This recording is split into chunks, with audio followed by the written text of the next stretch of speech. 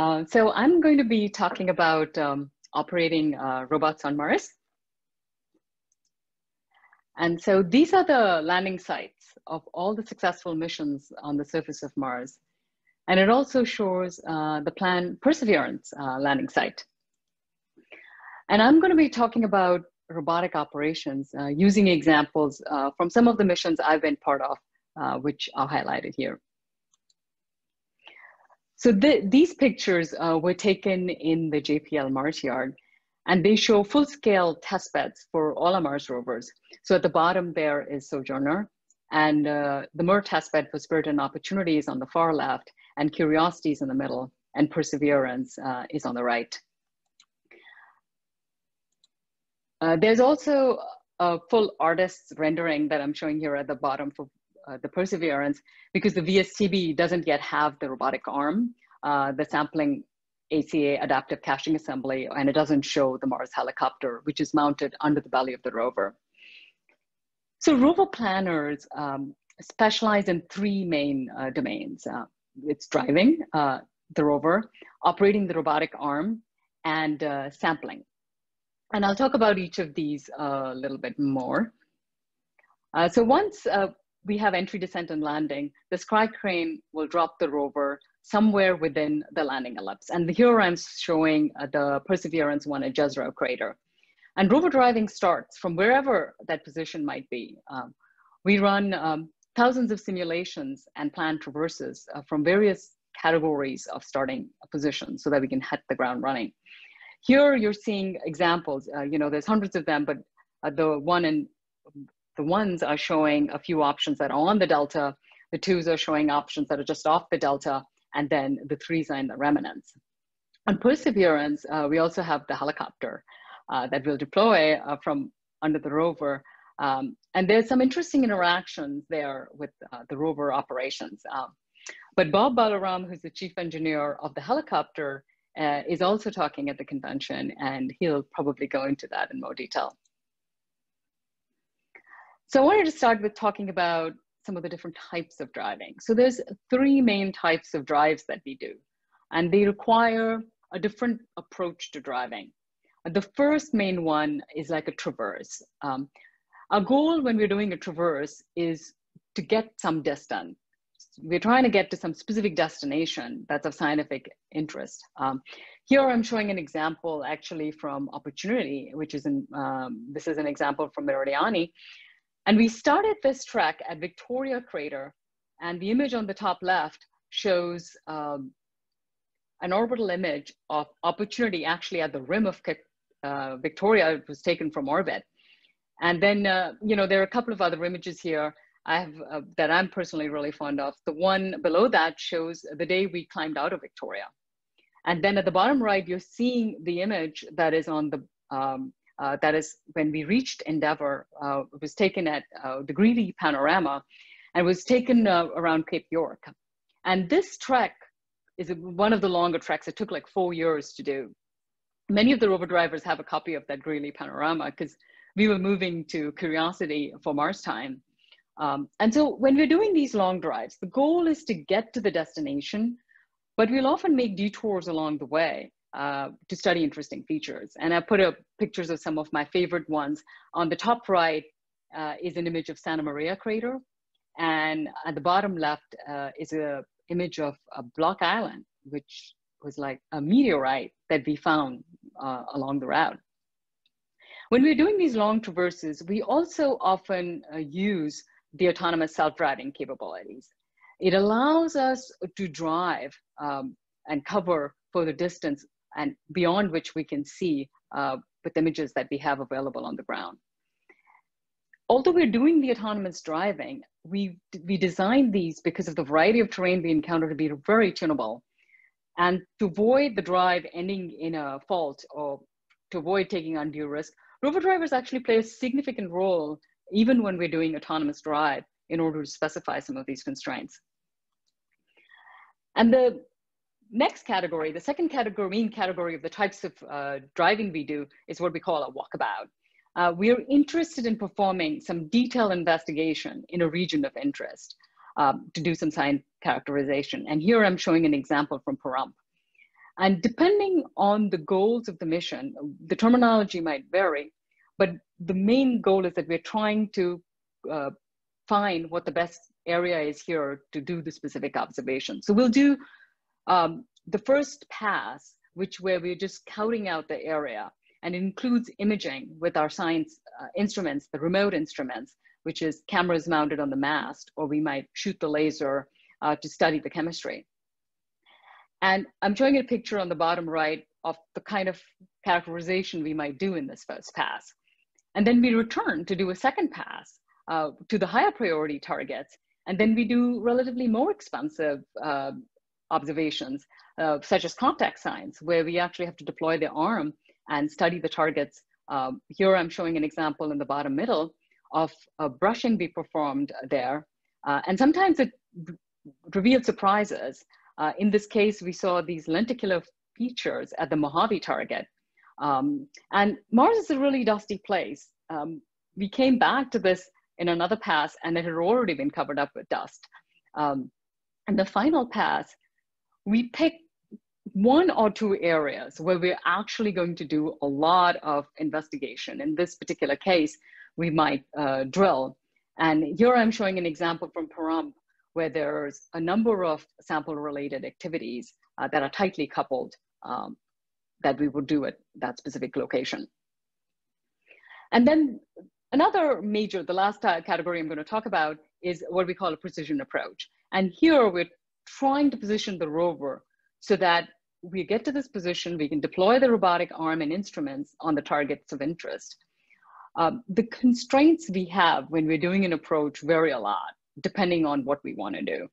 Uh, sometimes, you know, I'm showing a picture on the top right, which is a picture we took at Bagnold where we were doing a scooping campaign. Um, there, we had to reconcile competing kinematic, wind, lighting, and uh, communications constraints. Uh, for the tilt and heading for the time of day. We also have all of the classic robotic arm kinematic constraints. Uh, we have a five degree of freedom robotic arm. It has five joints and there are kinematic constraints on what we can reach uh, from a given position. Uh, different parking positions change uh, what we can reach.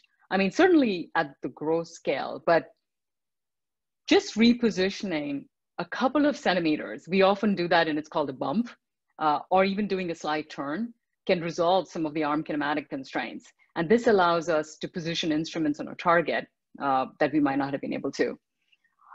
But when we want to perform a lot of different correlated observations, we can't reposition between them. And so prior to approaching, you have to take all of those into account and ensure you can do all of them from that position. And that's what makes a precision approach interesting is because you're using the rover and the degrees of freedom of the robotic arm to manage all of these constraints. Uh, so in terms of driving, uh, we always have a strategic route for the mission. And here I'm showing a really simplified version. It's one that's developed in conjunction with scientists and uh, planners uh, to determine strategically sort of in the group what, where, where we're going. Um, and before we land, we have a, dozens of paths we are evaluating, you know, hundreds of them. And, but once we landed, there is one specific point, and here for curiosity, that was a Bradbury landing shown as a star. And then every sol, um, which is a Martian day, uh, we get engineering and science data from the rover. And that data goes through a series of automated processing, and then the information is presented to experts. Um, our other um, uh, team members, uh, you know, evaluate this and they'll go into, you know, the science team members who are talking at this convention will probably go into some of the more details into all of that that goes into the science team deciding what to do next on the next sol. The result is that we get a set of activities for that sol and automated tools uh, manage constraints, you know, such as thermal, energy, calm. But all along, rover drivers are also evaluating the drive paths. And depending on whether we're doing a long distance drive, whether we're doing a traverse or precision approach, uh, the path would vary. And, you know, I'm not going to show all of those here, but we have some pretty neat uh, robot driving tools uh, that have we've uh, developed from experience all the way going back to Sojourner, and we've enhanced them uh, and we've been using daily since 2004 with the MER rovers. Um, and I'm showing, you know, we always look at the data in 3D with our goggles. And then at the top there, uh, middle, I'm showing an image uh, where we have an overlay in the color where we may sometimes just have a monocular image. It allows us to look at a lot of the terrain further out in detail, but we are always aware of whether uh, we actually have stereo data. The gray overlays here are images taken with our navigation cameras, which actually have 3D data. They have stereo information uh, where we can uh, measure range and uh, evaluate um, the size uh, of obstacles. And in the middle, I'm actually showing 3D points, which are um, uh, the mesh that we drive on. As you can see, there's often a lot of holes in it. Partly it's because of view shed or occlusion. So you can't, from the viewpoint, even though the rover has a pretty tall mast, you can't see behind certain obstacles. And that you need to factor in uh, when you're planning your drive. And um, depending on the terrain, um, we may get really dense or we get uh, somewhat sparse stereo. And uh, that is, uh, you know, some of the factors that we consider in uh, when we are driving. Um, and then the image at the bottom, I'm showing a classic dog leg that we do to get around a terrain artifact that may look very benign in 2D, but once you look in 3D, uh, uh, you may determine that it is something that we want to go around. And then in terms of the robotic arm, uh, something we do regularly is contact science. Uh, it's about positioning the instruments and tools that are on the turret at the end of the robotic arm and uh, close to the surface. Um, it's only safe to make actual contact with the surface with the limited hardware on the arm uh, that's actually designed for contact sensing. With, we don't want to touch uh, any of the other hardware. But we're still trying to position this uh, two and a half, 2.1 meter, 100 kilogram arm in really close proximity uh, to the surface. And the terrain interactions get interesting. They require trade-offs with close positioning, uh, where we can, you know, adjust the angle at which we approach, um, to avoid obstacles or for lighting constraints. So that's a lot of what goes on into uh, robo planning for these close observations. And here I'm showing an example, which I'd shown before at Pahrump. Uh, and here it's just the drilling related activities, but we needed to ensure that we met all the constraints, not just for the drill locations where the drill prongs would go, where the drill bit would go, but also for the mini drill, uh, where we drill just enough to quickly observe the results before ingesting the sample. Uh, we also need to have an area in the workspace and the kinematic reachability where we will um, dump the sample uh, after drilling so we can place the arm mounted instruments such as the spectrometer or the MAHLI hand lens imager to study this material. And the material that we have, uh, you know, after we've sieved has different particle sizes than the material that's left behind. And those are all have scientific interest. And so we put them in different piles so that we can then place instruments and study them. And we have a lot of specific robotic operations tools that help evaluate all of this quantitatively. But it's the robo planners that make the trade-offs when you need to relax margins and when it's appropriate to do that. And I'll say that in my personal experience when I'm training robo planners, the combination of these technical, the technical knowledge and of these constraints and the art that it takes in selecting these targets, that's one of the hardest, um, that's one the thing that really takes the longest uh, to learn. And here is a video, and we'll see how the video does over Zoom. Uh, but this is a video that shows uh, the very first go we did with Curiosity, uh, which involves, uh, this was RockNest 3, a rock where we retract the arm from RockNest 3. And here we actually had cache sample, we're caching it. We are imaging, um, then we stow uh, the mast, uh, but then we started driving. And the rover can drive backwards or forward, whatever is optimal. And you'll see the mass move because we're taking images for visual odometry, which I'll talk about later uh, as we continue on uh, along uh, the drive. And uh, the other major uh, aspect of rover planning is sampling. And uh, the Curiosity sort of has a percussive drill that collects powderized sample that we deliver to the instruments. Uh, and they, this involves like hours of movement uh, that process and deliver samples to instrument uh, that uh, in the rover body by inlets. Um, on Perseverance, um, the sampling is relatively decoupled. here we're collecting sample cores uh, and we're going to bring them back to Earth with a subsequent mission. Uh, but after drilling, the robotic arm docks with the adaptive caching assembly. And there's a second robotic arm, the SHA, the sample handling arm that we have, uh, and that moves the tube uh, through you know, volume assessment, imaging, and sealing uh, to storage. Uh, and we have, uh, you know, provided a link there because there's a lot of detail in the videos uh, if you're interested in checking those out. This is another example where I show drill targeting.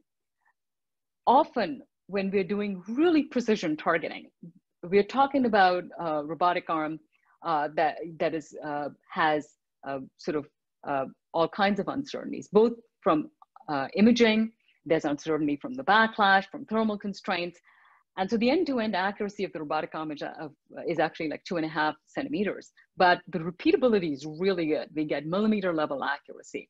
So sometimes this on the left, I'm showing an image where we brushed a target and we want to drill. We'll take a picture with a MAHLI and we'll look at what the drill prongs ended up. And then we'll do a little nudge and make an adjustment. So we precisely end up drilling where we want to.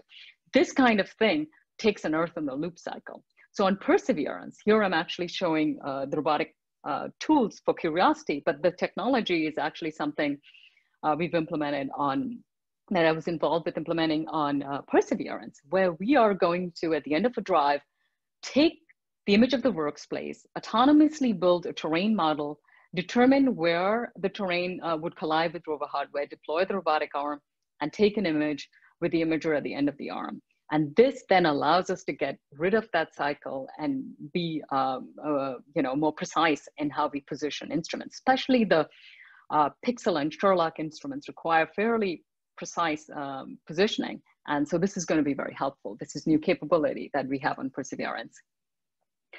So there are a number of different aspects of robotic operations, and I thought I'd give a few Mars examples. So this first one is from Dingo Gap.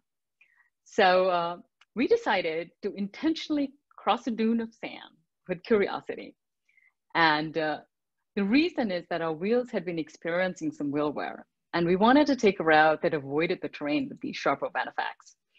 Um, the reason we were comfortable crossing Dingo Gap is that previously we had experience from Opportunity.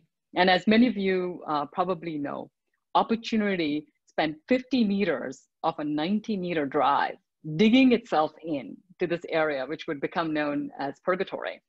Uh, we extricated ourselves and uh, uh, as we always do, we developed a new strategy for avoiding such situations. Um, we uh, complement the position estimation that we get from our wheel odometry and from the IMU and accelerometer data with visual feedback. So visual odometry takes a picture, uh, before and after motion, and then uh, autonomously on board, we check whether the motion is within expected bounds. And uh, based on that, we can take do a variety of different things. Dr. Verma, you have five minutes remaining. Okay, so our driving tools also enable modeling tracks with a different slip. And here um, I'm showing uh, how we did visual odometry in the bottom left, actually crossing over Dingo Gap. And then the image of the right is taken once we crossed into Dingo Gap, into better terrain, into Moonlight Valley. And this is an image, uh, you know, that is another example that from one end of one of my drives where in this mission, we hadn't actually, this was the first time we were doing polygonal ripples and we used VO as a safeguard. And in this case, it did protect us. And that was very useful. So Curiosity has a 133 megahertz processor and has a backup computer. Uh, but on Perseverance, we actually have a second computer and we had an FPGA that's dedicated to image processing. So now we can, uh, you know, the visual odometry that would take 30 seconds in Perseverance takes just seconds, and we'll expect to do it by default all the time. And the dedicated computer also makes autonomous driving uh, a lot faster. So we can cover 500 meters over three sols without Earth in the loop. So Perseverance is going to be able to drive a lot faster autonomously. And we've also improved the wheels. Uh, you know, on the right are Perseverance wheels, which are thicker and have a different Grouser pattern. Uh, so we don't expect to have some of the same wear concerns. Here I'm briefly going to talk about another example, which is of cache sample. So the hardware we had on Curiosity, the architecture was simple, which was we do a serial change. We'd acquire a sample, process it, deliver it, and then clean it out. But we couldn't store the arm or do contact science with sample in the system. But very early in the mission, the science team found that they really wanted to do a series of experiments over time with that sample, and they wanted uh, to be able to uh, still continue driving. So we came up with an approach that enabled us to do sampling uh, with uh, using the hardware to cache various caches and cachements uh, at different orientations.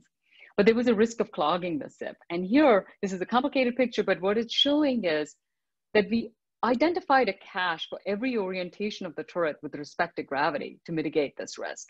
And uh, we designed the system to extend the, we had already anticipated this and we designed the system so we could extend the architecture and we didn't have to change the onboard flight software. We were able to very quickly adapt the rover driving tools uh, to implement these constraints. Uh, and the most exciting sample, one of the most exciting samples, Cumberland, it was in CHIMRA for over um, eight months. And we spent until the drill hardware started uh, having problems, um, half the mission, most of the half the contact science was done with sample in the system. So this is an example of anticipating that you're always, Mars is gonna surprise you and you need to design the system for evolution. And then this example is another one uh, like it's from Marias Pass. Um, our science team was interested in studying the contact between the Stimson and Murray formation, and which had really high science value. So we climbed uh, over the slope, and this is sort of the vantage point we had. Uh, we were also getting really close to Mars solar conjunction when the sun gets between Earth and Mars and it interferes with our communication. So we really wanted to make it across so we could get to that um, contact, and we did. And on the top right, I'm showing an image from Zola. But during conjunction, uh, as we were getting data down, this very uh, you know mundane looking rock, elk, when we looked at the data that we got down from it, uh, which is on the right, I'm showing an image from our ChemCam instrument, which takes a really high resolution, uh, 20 um, uh, micron image, uh, we were able to detect that this was the highest silica that we had seen on this site. The, the rover collects so much data, we weren't able to get it in time. So we actually went back to that region and found an area that we wanted to drill, which became a buckskin. Um, in order to um, uh, address this perseverance, we have uh, artificial intelligence on board with Aegis, where scientists can specify targets of interest. And without ground in the loop, we can determine what's interesting. And here the green shows a top target and can zap it with a laser. So now we can before we drive away from the location, get data that tells us if we want to do further investigation. And uh, this is also uplinked on Curiosity, and here we're showing some of the results from Curiosity. So I'm only going to talk about one more thing here.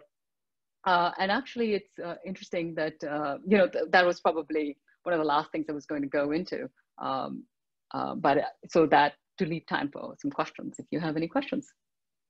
Yeah, um, thank you, Dr. Verma. Uh, let's see, we have a few questions here. Oh, uh, so Kareem asks, uh, why don't you want any of the other hardware to touch the surface? Um, so the hardware isn't designed to touch the surface. And, you know, so for example, we have um, the MAHLI camera, which has a very delicate lens on it. And we wouldn't want that to contact the surface because that would impact um, uh, the capability of the hardware to continue making observations. Or say the APXS, which has a very sensitive detector. So a lot of the instruments we have at the end of the arm, they have very sensitive um, detectors because, and that's part of what they're able to do the science. Um, the robotic arm hardware isn't designed sort of with bumpers. Um, uh, you know, we care about the weight we send to Mars. And so uh, we only make contact with hardware that is designed to contact it because the rest of it um, may not be able to operate nominally after making that contact. Thank you. Uh, Aurelian asks, how do you train for driving the rover using a real one on Earth or using a rover simulator? If so, did NASA develop a rover simulator? That's a really good question. So um, we actually have a number of different simulators of different fidelity. We have simulators um, that are just software sims. We have simulators that have the actual avionics, the real RAD 750 computer. And then we have the full vehicle system testbed. Um, to train rover drivers, uh, we actually first have, you know, like just classroom teaching and uh, go through uh, canned sample scenarios that rover drivers might do. But really, the biggest amount of training really comes from hands-on driving while shadowing somebody who is previously certified with the driving. So it takes um, quite a long time, a number of years, uh, to get a rover driver certified in all the different categories. But over time, sort of we optimize the ways because we have a number of um, simulators in which they can offline uh, practice um, these approaches. That's very interesting. Does that go on your driver's license? you know, actually, it's interesting. During Mars time, they did give us Martian driver's licenses. Uh, and, you know, it's, it's not just about the driving, it's really about doing it within the time constraints you have and in conjunction with the science teams and managing all of that. So, why you really have to be in the actual setting is those things uh, are really important uh, to work out because the uplink to Mars is happening at a certain time. And by then, uh, you know, you don't just send a drive to Mars if you think it's good enough. You really have to be sure that uh, it's safe. You may not know exactly where the rover is going to end up if it's an autonomous drive, but uh, you know you're certain by that time that you have verified everything you need to. So it's it's that it's it's doing that on, under the time constraints that is also really interesting. Uh, that leads right into Orion's question. He asks, can you talk about the balance between autonomy against manual control, for example, the overall global path versus the daily drive? That's a really good question. So the, there's a multiple aspects of that question. So there's a, the part about the global path and the local drive. So global path is giving a direction of where we are going. And there are waypoints that are the regions of interest that we really want to get to. But really every day, you are making a decision as to what's the best route in this local terrain based on the data you have. At times, you may actually end up driving in the opposite direction to get around something, and that's perfectly fine. So that strategic route is the general direction, but the local driving is very much based on what's appropriate given the terrain. Now, in terms of the autonomous driving, that's another thing I didn't go into too much detail here, but because the computational constraints, autonomous driving uh, takes a lot more computation. In addition, the rover is doing the thinking and it'll have its own ideas. Now, of course, these are predictable and we've encoded those, but humans, based on other constraints, when we're picking a path, might pick a more direct route based on the current specific constraints. So we always do blind drives, as we call them, which is we get a picture and we can drive in an area we can see. And then we'll autonomously use the visual odometry, which will check. And then if the rover didn't make enough progress, we'll do another step. So that's a good way for us to, without Earth in the loop, to actually get the distance because we're using that. That's one way. And then the other way is where we just let the rover image the terrain, find the hazards, work its way around it. So all of those are modes you deploy based on where you're trying to get to, what the terrain looks like, and what your time available is. Excellent. Thank you, uh, Dr. Verma that's all the time we have for questions right now. And uh, we'd like to thank Dr. Verma for her presentation. Thank you. Bye-bye.